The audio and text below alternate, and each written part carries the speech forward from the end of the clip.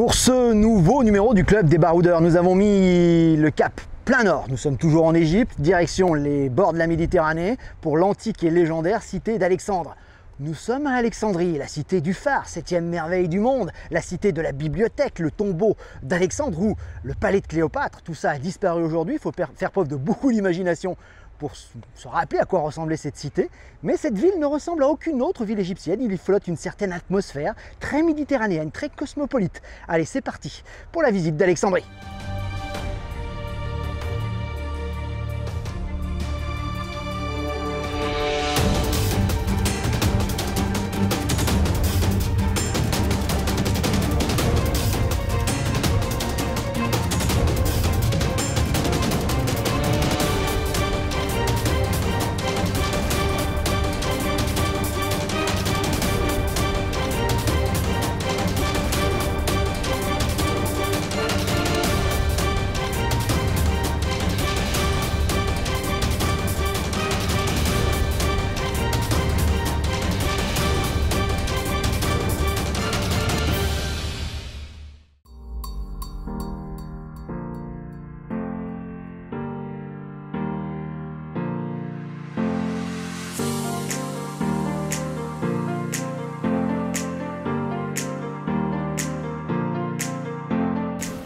Il y a la clim, c'est déjà ça. c'est plutôt propre, la première classe. Franchement, pour la différence de prix, il n'y a pas de quoi se priver. Non, on est pas mal là. Surtout que c'est l'express qu'on a pris. Vous pouvez, sinon, vous allez vous arrêter à toutes les gares. Donc, allez, pourquoi pas. Alexandrie, c'est parti, mon kiki, moins de 3 heures. C'est ce qu'on nous a dit. Inch'Allah, comme on dit dans ce pays.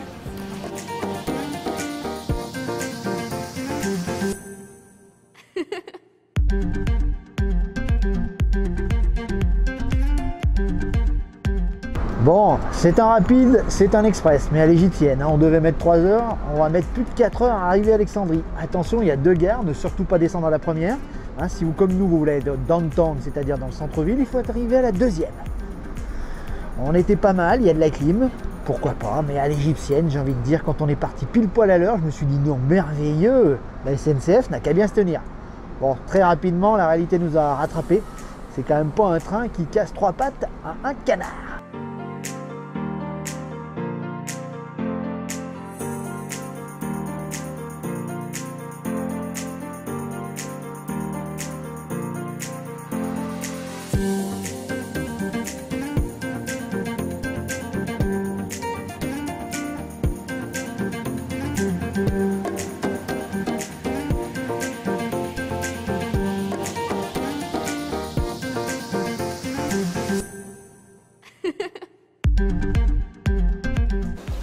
Bon, pour les taxis, il n'y en a pas un qui parle anglais. Hein. Alors, pas évident de trouver une adresse. C'est toute une aventure. On s'arrange, moitié anglais, moitié... Euh, moitié euh, arabe. Enfin bon, on va y arriver. Le visiteur est souvent déçu quand il visite Alexandrie pour la première fois. Il est accueilli par la corniche, véritable muraille de béton qui donne sur la Méditerranée, les plages pas vraiment propres, la mer non plus. C'est vrai que cette grande cité industrielle, la deuxième ville du pays. est une cité moderne, commerçante, qui a enterré depuis belle lurette l'Alexandrie antique qui nous fait tant rêver sous le béton et sous l'asphalte. Alexandrie, c'est plus un souvenir, un nom magique qui fait rêver.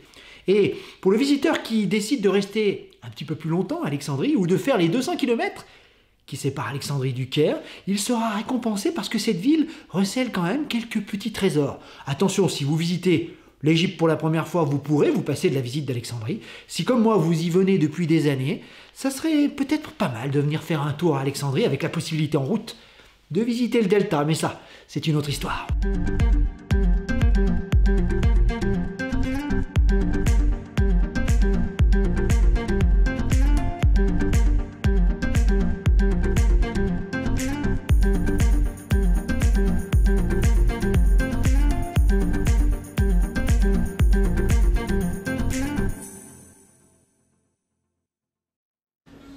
Première nuit à Alexandrie dans le cadre assez feutré et du Stingberger, d'accord Sicile, comme on l'appelle ici.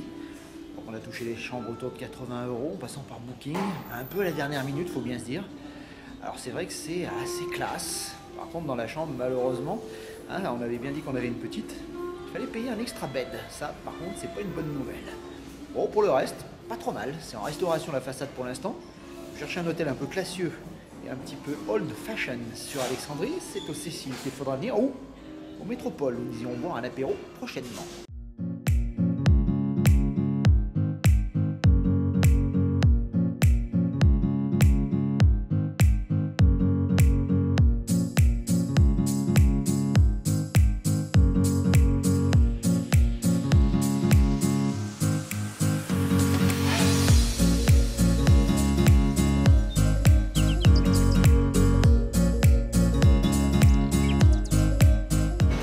Du point de vue traversée de rue, Alexandrie, Le Caire, même combat. Hein.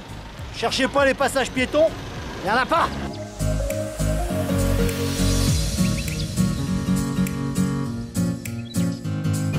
Bon, ça nous rappelle un petit peu les calèches de Luxor. Il faut négocier pareil, il faut nourrir le cheval, enfin bon bref. Enfin bon, allez, direction à la bibliothèque d'Alexandrie.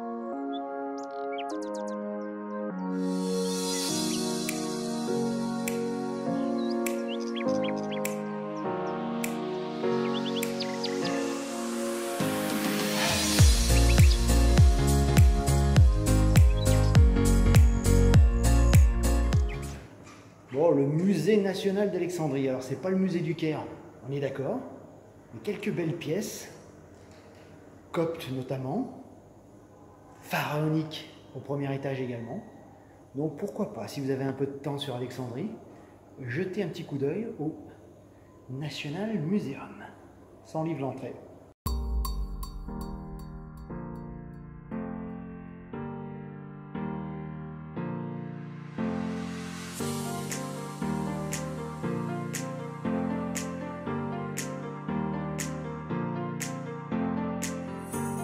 Info importante pour circuler dans Alexandrie. Alors les taxis, ils parlent pas vraiment anglais, hein. il vaut mieux s'armer de patience pour dire où on va.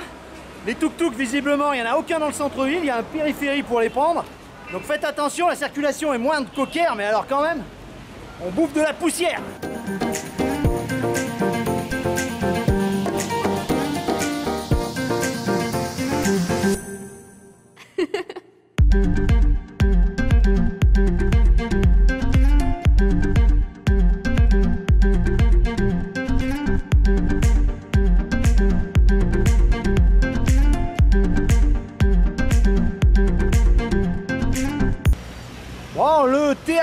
d'Alexandrie vient nous rappeler le temps où la ville était romaine. L'occupant romain l'a transformée complètement à sa sauce, un petit peu. Hein. Et c'est vrai que on se rappelle que Jules César avec Cléopâtre, hein, c'est à lui quand même qui a incendié la bibliothèque. On se rappelle également qu'à la mort de Cléopâtre, l'Égypte tombe dans les mains de l'Empire romain et elle va décliner un petit peu. Elle ne sera plus ce phare de l'Orient qu'elle était autrefois, évidemment. Mais bon, euh, petit conseil, parmi les grilles, on voit très bien le théâtre, il n'y a pas besoin de rentrer à l'intérieur ou de payer. On fait le tour, on a des belles vues, on peut prendre quelques photos. Après, les fanats d'archéologie, évidemment, pourront rentrer. Mais on se contentera de la vue qu'on a d'ici, c'est quand même pas non plus le, le théâtre d'Éphèse, évidemment, ou celui d'Orange, c'est le moins qu'on puisse dire. Pour la petite histoire, vous vous en doutez, c'est Alexandre le Grand qui fonda Alexandrie, l'une des nombreuses Alexandries d'ailleurs hein, de, son règne, un petit peu partout euh, à la suite de son grand voyage et de ses expéditions. Il est en route pour conquérir l'empire perse de Darius. On est dans les années 330 avant Jésus-Christ. D'accord? La ville deviendra le phare de l'Orient, l'une des plus belles et des plus légendaires cités de l'Antiquité. D'accord? Avec la conquête arabe en 640, malheureusement la ville entrera un petit peu en retrait. Hein, les Arabes choisiront El Caïra, le Caire, comme nouvelle capitale. Il faudra, euh, quand par exemple, quand Napoléon visite Alexandrie en 1798, d'accord, la ville n'est que l'ombre d'elle-même, n'est plus que l'ombre d'elle-même. D'ailleurs, Champollion, euh, quelques années plus tard, le dira, il est très déçu de la visite d'Alexandrie. Il faudra attendre quelques décennies plus tard, Mehmet Ali, qui refera de la ville une ville moderne et cosmopolite. Elle reprendra tout son lustre, un point d'ailleurs qu'on la surnommera le Petit Paris, fin 19e, début 20e. D'accord?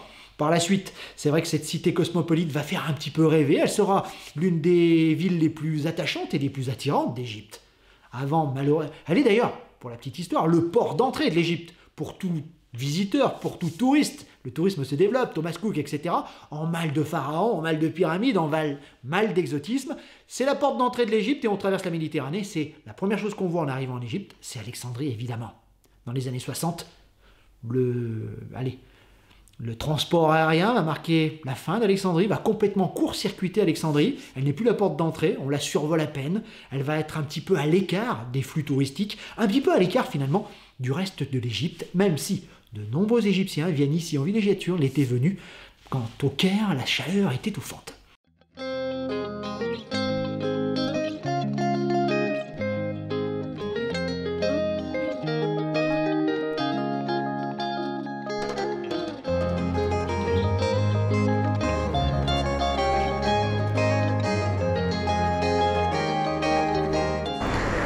Alors, Alexandrie On a tenté le Steamburger, old fashion, c'est vrai qu'il est en travaux, il sera rénové, peut-être qu'il aura un meilleur lustre quand on reviendra. Mais la bonne adresse qu'on vous conseille, Royal Jewel. On est plein centre, on n'est pas très loin du Métropole et du Steamburger, je vous l'ai dit. Tout nouveau, tout neuf, tout propre, assez rare en Égypte, ça fait un an qu'il est ouvert. On est dans une ancienne bâtisse apparemment du roi Farouk qui a été transformée ensuite par un, comment dirais-je, un bâtiment militaire et aujourd'hui c'est un hôtel flambant neuf.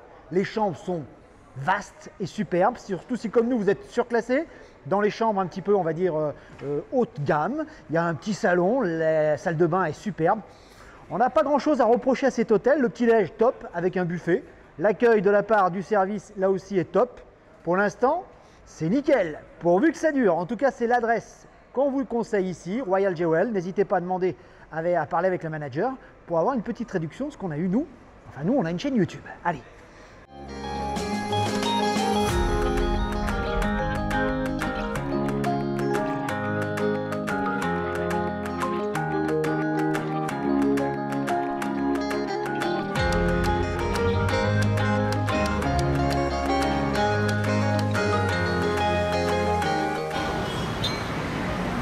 à peine arrivé à Alexandrie, coucher de soleil sur la ville et sur la mer, sublime.